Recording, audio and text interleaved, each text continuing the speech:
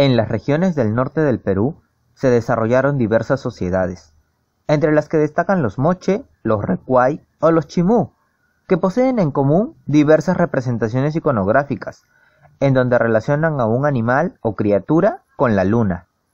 Este animal fue identificado inicialmente como un jaguar por el arqueólogo Julio Cetello, pero las investigaciones más recientes, como las de Karen Olsen, lo relacionan más con un ser mitológico e imaginario.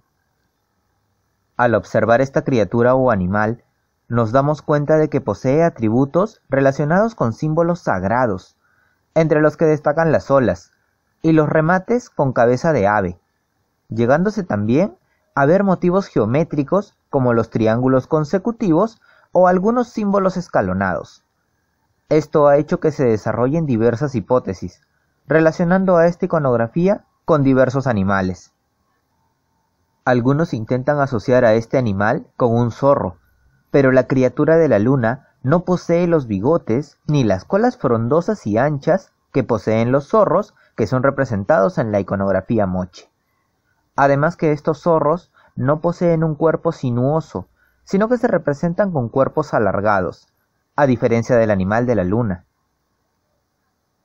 También hay quienes relacionan a este animal de la luna con el perro peruano sin pelo, o viringo, basándose en su forma sinuosa, la cual se acentúa por su cuerpo desnudo.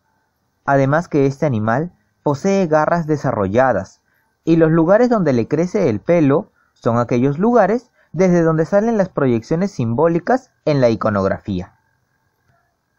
Esta última hipótesis, que relaciona al animal de la luna con los perros peruanos sin pelo, también tiene un fundamento en la tradición oral, donde se menciona que la luna era aficionada a los perros, por cierto servicio que éstos le habían hecho, sumado a las propiedades mágicas que se cuentan que tienen los viringos.